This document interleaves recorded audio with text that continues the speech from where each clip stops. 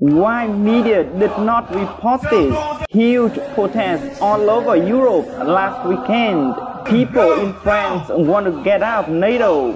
People in Germany demand to stop funding Ukraine immediately. People in the Netherlands want to stop globalist agenda. Here are the challenges that European countries facing. In Czech Republic, a massive demonstration in Prague against the government, soaring prices and the energy crisis.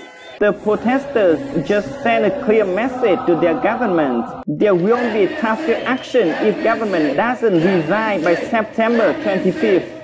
In France, 10,000 people took the streets of Paris and make a clear demand. Let's get down NATO. French people have had enough of globalist agenda.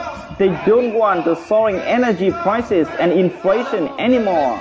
In the Netherlands, thousands of people gather in Amsterdam. They stand firmly with their farmers against the rural government and the World Economic Forum agenda.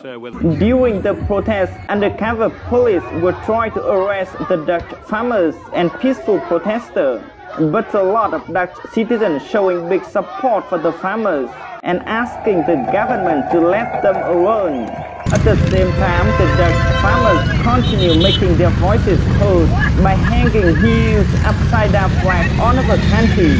And by keep doing this, in the end, we, the people, will decide. In Italy, more and more people came out and burned their energy bills. Few days ago, only people in Naples City dared to come out. Now it has become a movement. People in Terni, Assisi, Bastia, Foligno, Gubbio, Norcia, Spoleto, and many other cities are burning their energy bills with a message, we don't pay, now that's enough.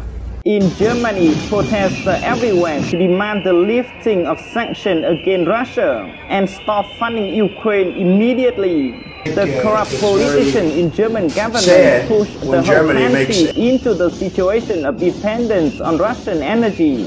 And now the working people will be affected the most in the coming winter. Corrupt politicians are always rich.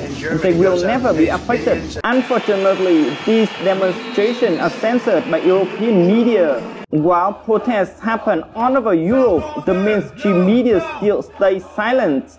Thank you so much for watching and see you later.